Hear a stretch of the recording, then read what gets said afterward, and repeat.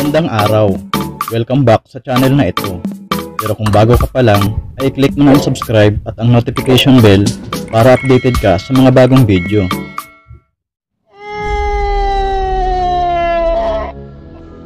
Pag-uusapan natin ngayon ay tungkol sa pag-alulong ng mga aso.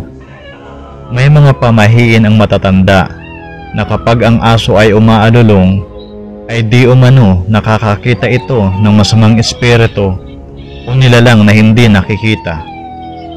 May naniniwala rin na nagsasabing ang alulong ng aso ay nangangahulugang malapit na ang kamatayan. Ito ay hindi totoo at pawang haka-haka lamang. Likas sa mga aso ang umalulong dahil ang mga ito ay may lahing lobo. Pero bakit nga ba umaalulong ang mga aso sa halip na kumahol na lamang?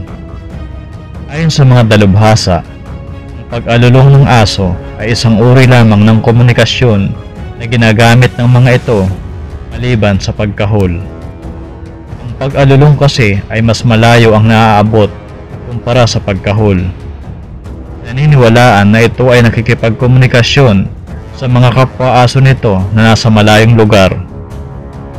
Sa pangdahilan sa pag-alulong ng aso, kapag nakaramdam ito ng lungkot at pagkabalisa, dahil sa nahiwalay ito sa mga kaibigan nitong aso o sa may-ari, posible rin na naiwanan ito sa bahay na mag-isa.